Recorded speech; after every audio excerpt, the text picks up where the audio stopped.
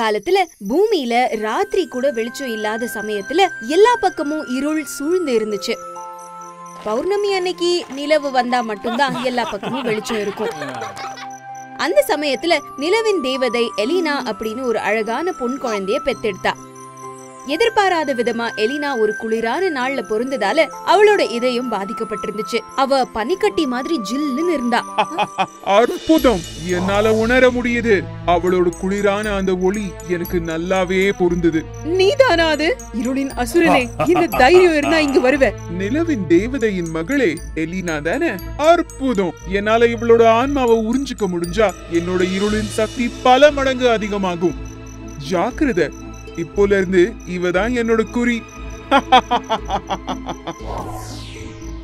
என்னால ஒரே நேரத்துல எலினாவை பாதுகாத்துக்கிட்டு அவளை கவனிச்சுக்கிட்டும் இருக்க முடியாது. இப்போ என்ன செய்யறது அது சரி. நான் எலினாவுக்கு பதினாறு வயசு ஆகுற வரைக்கும் அவளை பூமிக்கு அனுப்பி வைக்கிறேன். அவளோட இதயம் மனிதர்களோட அன்பால பனியில இருந்து வெளியில வந்து இதமா இருக்கும். அவ நல்லா இருப்பா. இந்த இருளின் அசுரனோட பயமும் இருக்காது. பௌர்ணமி ராத்திரி அன்னைக்கு எலினா பாதுகாப்பா இருப்பா. ஆனா நிலவில்லாத நாட்கள்ல நடு ராத்திரியில அவ வெளியில போக கூடாதே. இருளின் அசுரனுக்கு அவ இருக்கிற இடம் தெரிஞ்சுட்டா அவன் அவளை தாக்குவான். அப்புறம் எலினா நூறு துண்டுகளா உடைஞ்சு உருகி போயிருவாளே. வேற நல்ல வழி இருக்க முடியாது. கடவுளே கிரேன் என்னோட மகள் எலினாவ சந்தோஷமான ஒரு இடத்துக்கு கொண்டு போக உதவுங்க. மனிதர்களோட அன்பால மத்த குழந்தைங்களோட அவ என்னைக்குமே சந்தோஷமா இருக்கணும்.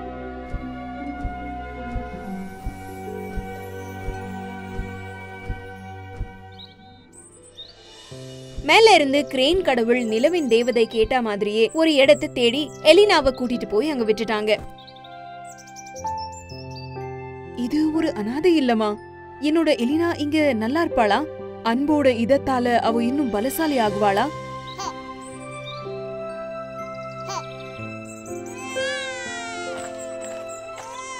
ஓ என்ன ஒரு அழகான பொண்ணு. நீ உண்மையிலேயே இந்த உலகத்துக்கு வந்த தேவதை தான். நான் உன்னை எலினான்னு கூப்பிடுறேன். எலினா மத்த குழந்தைகளோட அனாதை இல்லத்துல சேர்ந்தா. அவளோட நண்பர்களோட அவளும் சந்தோஷமா ஆரோக்கியமா வளர்ந்தா. எப்பவுமே உற்சாகத்தோட இருந்தா. ஒரு நாள் பௌர்ணமி இரவன்னைக்கு எலினா வானத்தை பார்த்து மனசு விட்டு பேசினா. அந்த முழு நிலா பார்க்க ரொம்ப அழகா இருக்குல்ல? நிலவே உனக்கு என்னோட அம்மா எங்க இருக்காங்கன்னு தெரியுமா? யாரு நீங்க? நீங்க நீங்க பார்க்க ரொம்ப அழகா இருக்கீங்க. எலினா நான் தான் நிலவின் தேவதை. நீதான் என்னோட ஆசை மகள். நீங்க உண்மையிலேயே என்னோட அம்மாவா? அம்மா! நிலவின் தேவதை எலினா கிட்ட அவங்க ஏன் பிரிஞ்சிருக்காங்கன்னு சொன்னா. எலினா இருளின் அசுரன் இன்னமும் உன்னை தேடிக்கிட்டே தான் இருக்கான். அதனால உனக்கு பதினாறு வயசு ஆகுற வரைக்கும் நீ இங்க தான் இருக்கணும். அப்போ உங்களை நான் இனிமே பார்க்கவே முடியாதா? பௌர்ணமி இரவுகள்ல வெளியில வந்து வானத்தை பாரு. நாம மறுபடியும் சந்திக்கலாம். ஞாபகம் இருக்கட்டும். நிலவு இல்லாத நாட்கள்ல நீ வெளியில வரவே கூடாது. இருளின் அசுரன் அது தெரிஞ்சுக்கிட்டான்னா உன்னை ஆயிரம் துண்டுகளா வெடிக்க வச்சிருவான். சரி இப்போ நான் போகணும். பல நாட்களுக்கு அப்புறம் இருளின் அசுரனுக்கு எலினா எங்க இருக்கா அப்படின்னு தெரிஞ்சு போயிடுச்சு. ஆனா அவளை அவனால தொடக்கூட முடியல. ஏன்னா நிலவு இல்லாத சமயத்துல எல்லாமே எலினா வீட்டுக்குள்ளேயே தான் இருந்தா. காத்திருந்து பாருங்க நான் என்ன பண்றேன்னு. நான் எலினாவை நிலவின் தேவதையோட மறுபடியும் தேவதை உலகத்துக்கு போகவே விட மாட்டேன் கண்டிப்பா அவ ஒரு நாள் வெளியில வந்துதானே ஆகணும். அப்போ அவளோட ஆன்மா எனக்கு தான் சொந்தம். அப்படின்றதுக்குள்ள எலினா ஆசிரமத்துல இருந்த குழந்தைகளோட வளர்ந்துட்டா. அவங்க ஒன்னா விளையாடிக்கிட்டே படிச்சுக்கிட்டே இருந்தாங்க. எலினாவுக்கு இப்போ பதினாறு வயசு ஆயிடுச்சு. அவ ரொம்ப புத்திசாலியாவும் விவேகம் உள்ளவளாவும் இருந்தா. அவ தான் எல்லாருக்குமே முன்னோடியாவும் இருந்தா. எல்லாராலையுமே ரொம்ப மதிக்கவும் பட்டா. எலினா பூமி மேல இருக்க போற கடைசி வருஷம் இதுதான். திடீர்னு ஒரு மோசமான பஞ்சம் நிலவுச்சு. ஆசிரமத்துக்கு தானம் செய்ய யாருக்கிட்டயுமே எதுவுமே இருக்கல. வேலை செஞ்சவங்க எல்லாருமே கூட வேற வழியே இல்லாம அவங்க குடும்பத்தை கவனிச்சுக்கிறதுக்காக அவங்க அவங்க வீட்டுக்கு போயிட்டாங்க. அதனால ஆசிரமத்துல இருந்த குழந்தைகள் எல்லாமே கஷ்டப்படுறத பார்த்து எலினாவுக்கு ரொம்ப கவலையா இருந்துச்சு.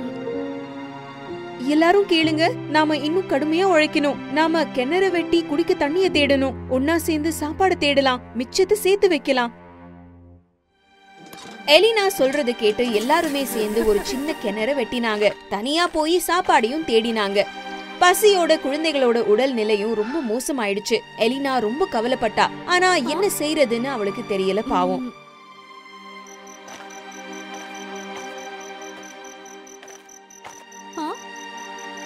அம்மா தயவு செய்து எங்களுக்கு உதவுங்க. என்னோட நண்பர்கள் எல்லாருமே இப்படி கஷ்டப்படுறத என்னால பார்க்க முடியல.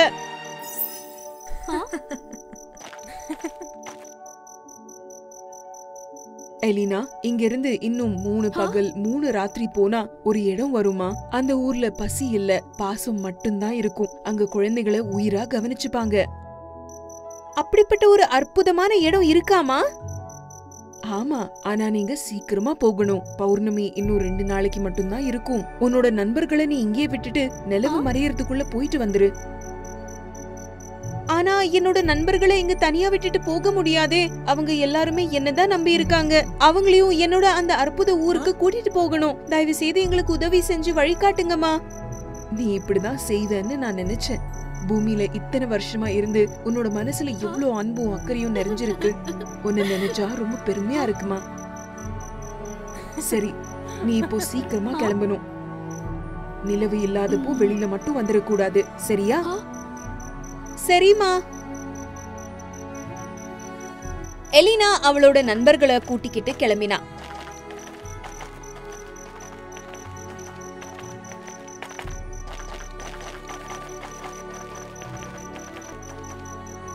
போற வழியில ஒருத்தருக்கு ஒருத்தர் உதவிக்கிட்டாங்க. நிலவின் வெளிச்சம் அவங்கள வழிகாட்டுச்சு. பகல்ல சூரியன் ஜொலிச்சுது.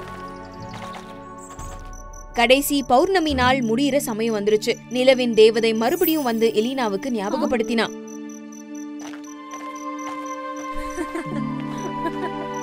எலினா பௌர்ணமி முடிஞ்சிருச்சு. நான் திரும்ப போகணும். இன்னைக்கு தான் கடைசி நாள். சூரியன் மறையறதுக்குள்ள நீங்க எல்லாரும் பத்திரமா அந்த ஊருக்கு போய் சேர்ந்துடணும் சரியா? கவலைப்படாதீங்கம்மா. நாங்க கண்டிப்பா பத்திரமா போயிருவோம். இன்னும் அரை நாள் தானே பாக்கி இருக்கு. உன்னால அதுக்குள்ள அந்த அற்புத பூமிக்கு நேரத்தோட போய் சேர முடியாது. என்னோட கடைசி வாய்ப்பு இதுதான். அடுத்த நாள் குழந்தைகள் எல்லாருமே அந்த இடத்துக்கு நேரத்தோட போய் சேர முடியவே இல்ல. இருளின் அசுரன் சீக்கிரமா எல்லா பக்கமும் சூழ்ந்துக்கிட்டான் எலினா ரொம்ப இருட்டா இருக்கு. நாம இன்னும் முன்ன போக முடியாது போல இருக்கே. எல்லாருமே ரொம்ப சோர்வா இருக்காங்க. நாம கொண்டு வந்த சாப்பாடும் தண்ணியும் தீந்து போயிடுச்சு. நாளைக்கு வரைக்கும் பத்தாதே. ஆமா நாம இந்த காட்டுலயே மாட்டிக்க போறோமா? அப்போ நான் பசி தாகத்தோட இங்கேயே சாக வேண்டியதுதானா அற்புத பூமிக்கு போகிற பாதை இன்னும் கொஞ்ச தூரம் தான் இருக்கு. நாம விட்டு கொடுத்துடலாமா இல்ல தொடரலாமா? ஆனா அம்மா இருட்டுல வெளியில போக கூடாதுன்னு சொல்லிருக்காங்களே இல்லனா அந்த இருளின் அசுரன் என்ன தாக்கினா நான் ஆயிரம் துண்டுகளா வெடிச்சிருவேன். ஆனா மத்த பசங்க எல்லாருமே சோர்வா இருக்கிறத பார்த்து எலினாவால விட்டு கொடுக்க முடியல. எலினாவுக்கு தன்னம்பிக்கையும் அன்பும் அதிகம். என்ன அந்த இருளின் அசுரன் என்ன செஞ்சாலும் சரி என்னால உங்களை அந்த பூமிக்கு கண்டிப்பா கொண்டு போய் சேர்க்க முடியும். அதை மட்டும் நான் செஞ்சுட்டா எனக்கு அதுவே போதும்.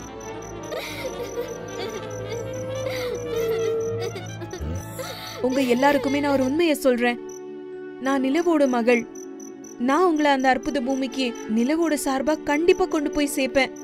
முயற்சி பண்ணுங்க விட்டு கொடுக்காம வாங்க என் மேல நம்பிக்கை வைங்க. எலினாவோட இந்த வார்த்தைகள் எல்லாருக்குமே புத்துணர்ச்சியை கொடுத்துச்சு. அவங்களுக்கு இன்னும் தன்னம்பிக்கை வந்துச்சு. எல்லாருமே சந்தோஷமா மறுபடியும் அவளோட இருட்டான காட்டுக்குள்ள நடக்க ஆரம்பிச்சாங்க. எலினா இந்த நொடிக்காகத்தான் நான் இத்தனை வருஷமா காத்துக்கிட்டு இருந்தேன் தெரியுமா? உன்னோட ஆன்மாவை உறிஞ்சுக்கிட்டு என்னோட சக்தியை இன்னும் பல மடங்கு பெருக போறேன்.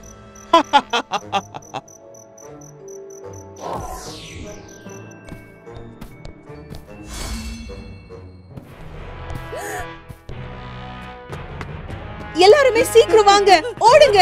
நான் இங்கே இருந்து இவனை எதிர்த்து சண்டை போடுறேன். அதுக்கப்புறம் உங்களோட வந்து சேர்ந்துக்கிறேன். ஓ ரொம்ப தைரியசாலியா தான் இருக்க. நிலவின் மகளாச்சே. ஆனா உன்னோட அம்மாவோட உதவி இல்லாம உன்னால என்ன எதுவுமே பண்ண முடியாது. ஒழுங்கு மரியாதையா உன்னோட ஆன்மாவை எனக்கு கொடுத்துரு. இருளின் அசுரன் அவனோட சக்தியால எலினாவை தாக்கினான். அவ தப்பிக்க பார்த்தா ஆனா அப்புறம் அவளோட சொந்த சக்தியை பயன்படுத்தி பேயோட சக்தியை எதிர்த்தா. பிடிவாதம்? அப்போ அது போதும். உன்னை முடிச்சு வைக்க. அந்த அசுரனோட சக்தி அதிகமாயிட்டே இருந்துச்சு. எலினாவால இன்னும் போராட முடியல. அவ பயங்கரமா தாக்கப்பட்டா. திடீர்னு அவளோட உடம்பு மின்ன ஆரம்பிச்சிருச்சு. அதுக்கப்புறம் அது ஆயிர துண்டுகளா வெடிச்சு வானம் மொத்தம் செதறிடுச்சு. அது எல்லாமே நிலவ மாதிரியே வெளிச்சம் கொடுத்தது. சீக்கிரமே எல்லா பக்கமும் இருள் மறைஞ்சு போயிடுச்சு. அந்த மாய ஒளி நேரா இருளின் அசுரனை தாக்குச்சு. என்ன இது? வானம் நிலவில்லாத நேரத்துல இவ்ளோ வெளிச்சமா எப்படி இருக்கு? நம்பவே முடியலையே.